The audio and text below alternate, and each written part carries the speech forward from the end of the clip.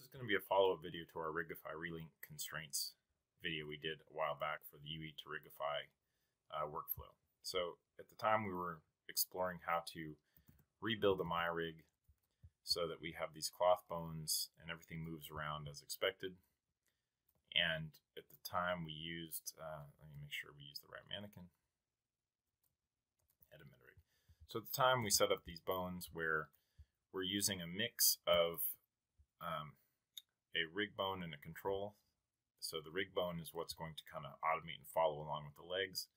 And if we look in pose mode, you can see it's got a an armature constraint, and we're using the raw copy and relink constraints functionality.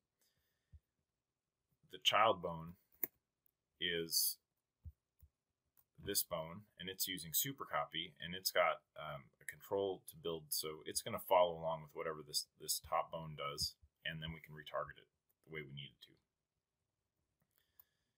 It doesn't have any constraints on it. This constraint is re remapping.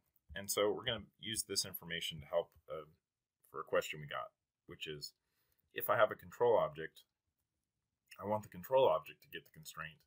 How can I remap it? And there's not really a way we know of to remap to a control that's being built um, by supercopy. So if we grab super copy and this control that it generates, there's not a way from the meta rig to map a constraint to that object directly, since that's usually what gets animated.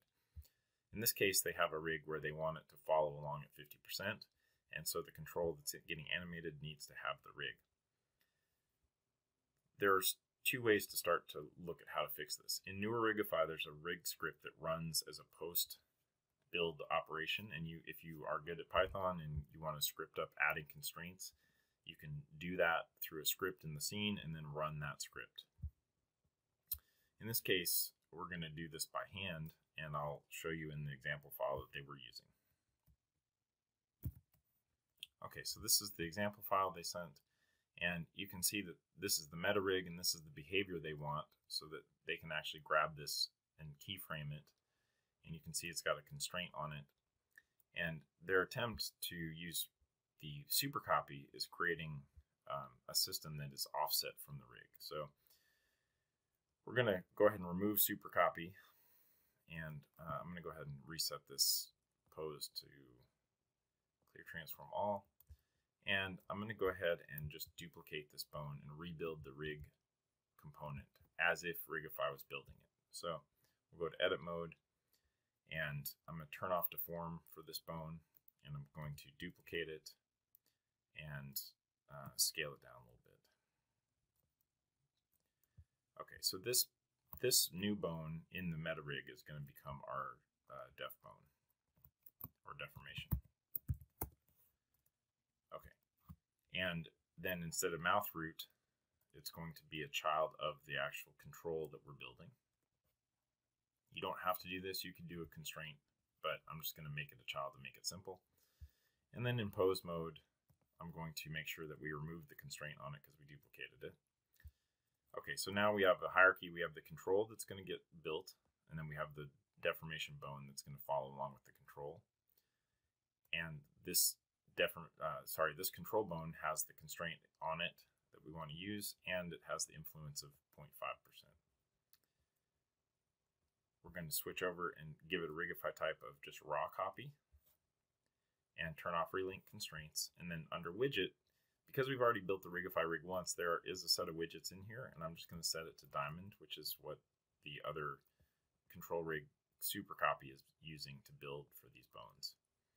So we've basically just said we're setting the constraints up on the control, we're building the control bone, and letting it just copy directly into the final rig from the meta. And then its child bone is the deformation bone, and we're building that by hand, and we're going to use a raw copy as well, and no relink constraints, and no widget type. It's just going to be a straight raw copy. Okay, so this is now ready to go, and we can build the Rigify rig. And if we jump over to our rig and show the, the deformation bones, you can now see, and let's go ahead and hide our source rig. Okay, so now this side we can see the new behavior. The deformation bone follows along, the control moves the deformation bone, and it is also being controlled by the constraint. This side has the old system where it created the rig. And you can see that the, the bone for deformation is sitting between the two, but the, um, the control is offset. So this was the behavior they wanted so that the deformation bone stayed exactly where the you know upper lip was or whatever they're rigging. And the only way that you know you can do this directly from the meta rig is to basically build a duplicate of what the um, super copy is doing for you. So it creates the original bone and then the def bone and constrains everything. And you know you can do the same kind of operation here. We didn't completely match exactly what was being duplicated. You can, but in this case, I just wanted to show that the the actual control rig can come straight in with raw copy, and then you can parent or switch out or remap the deformation bone if you need to. Um, and again, the other option is to use a post build script in the Rigify system to basically switch out constraints. So I hope that helps uh, understand a few more options to customize the rig, and thank you very much.